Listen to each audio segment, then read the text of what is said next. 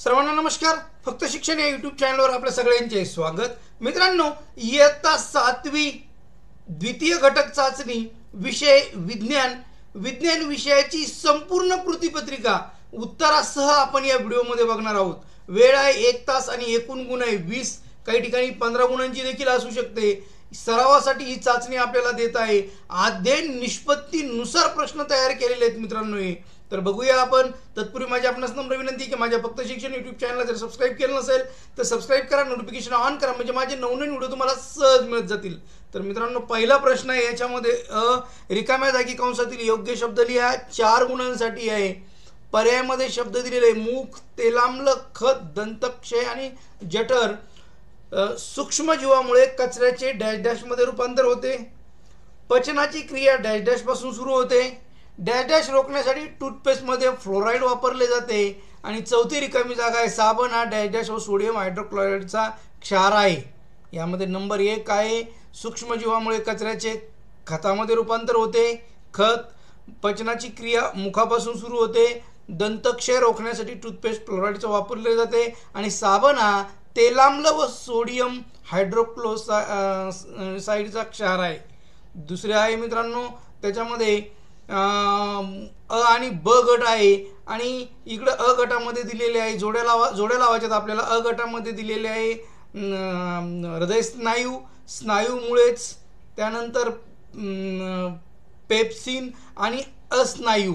आता याच्यामध्ये अ ची जोडी इकडं शोधायची ब ची इकडं क ची आणि ड ची म्हणजे चारही याच्या जोड्या इकडं आहेत. तर बघा हृदय सानू आम्ही कधीच थकत नाहीत. स्नायूमुळेच जबड्याच्या चघळण्याच्या हालचाली होतात. पेप्सिन जठर जठर रसातील विकार आणि अस्थि अस्थिस्नायू नियमित जोडीने कार्य करतात. या पद्धतीने आपल्याला या जोड्या लावायच्यात.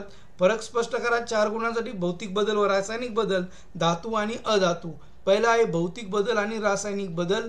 थोडक्यात फरक स्पष्ट करायचा बघा या पद्धतीनं टेबल मांडून केला. तर एक प्रभावी वाटते. भौतिक बदल भौतिक बदला बदल मूळ पदार्थाचे गुणधर्म आहेत तसेच राहतात. भौतिक बदलामध्ये भौतिक बदलात मूळ पदार्थाचे संघटन कायम राहते. भौतिक बदल परिवर्तनीय असतात. उदाहरणार्थ बाष्पीभवन उत्कलन विलयन इत्यादी. रासायनिक बदल रासायनिक बदलात मूळ पदार्थाचे गुणधर्म बदलतात. इथं बदलत नाहीत गुणधर्म बदलत नाहीत. इकडं रासायनिक बदलामुळे मूळ पदार्थाचे संघटन बदलले जाते. इथं संघटन कायम राहते इकडं बदलले जाते. हे काही फक्त शब्द ध्यानात ठेवायचे भौतिक बदलातील परिवर्तन भौतिक बदल परिवर्तनशील असतात भौत आणि रासायनिक बदल अपरिवर्तनीय असतात. प्रकाश संश्लेषण क्षरण या पद्धतीनं आपण थोडक्यात फरक स्पष्ट करू शकतो. पुढे धातू आणि अधातू. धातू आणि अधातू थोडे लंब जास्त मुद्दे लिहिले. आपण कमी करू शकता. परंतु गरज होती लिहायची बघा धातूंना चकाकी असते अधातूंना चकाकी नसते. धातू वर्धनीय असतात हे वर्धनीय असतात धातूंना तन्यता असते यांना तन्यता नसते.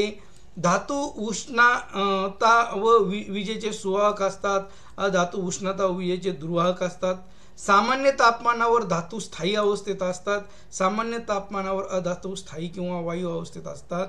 सहा नंबर सामान्यतः धातूंची उ- घनता उच्च असते. उदाहरणार्थ सोने चांदी पारा सर्वसाधारण अधातूंची घनता कमी असते. उदाहरणार्थ ऑक्सिजन हायड्रोजन.